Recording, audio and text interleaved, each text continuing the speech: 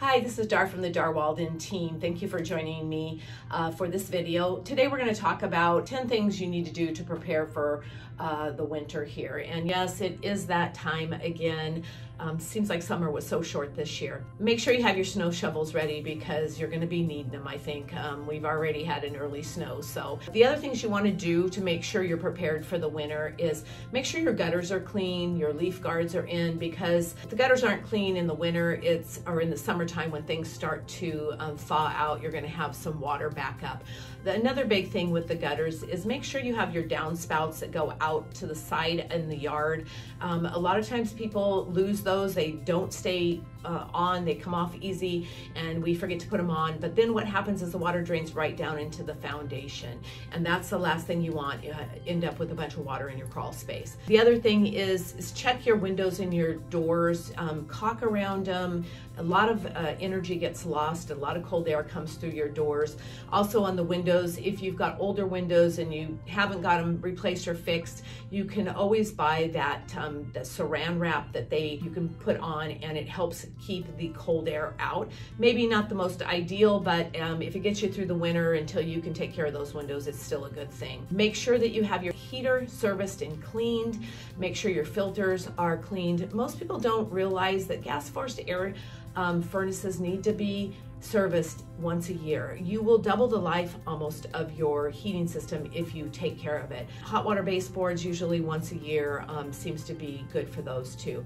The other thing is if you have a fireplace and it's actually a wood fireplace, make sure your chimney's clean um, to prevent any potential of house fire. Take your water hoses off your faucets, put your covers on your faucets if you need them, if they're the older style one. Also, if you've got any pipes that bump up against the outside wall, make sure you've got the insulation on those pipes because those are the ones that we typically have clients calling us and, and asking for help because they've uh, had pipe burst and issues.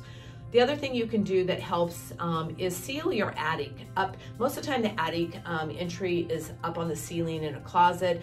You'd be surprised at how much cold air comes in through that. Just caulk that. If you need to get in there for any reason, you just can cut it back open.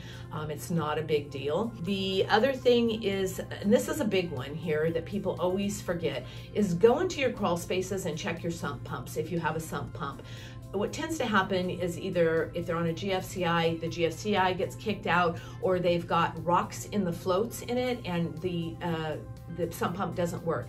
And in the spring, you want to make sure that that sump pump is working so you don't end up with a crawl space that looks like a swimming pool. The other uh, thing to do is if you don't have programmable thermostats, go get them. They will save you a ton of money. If you have them, make sure you change your batteries.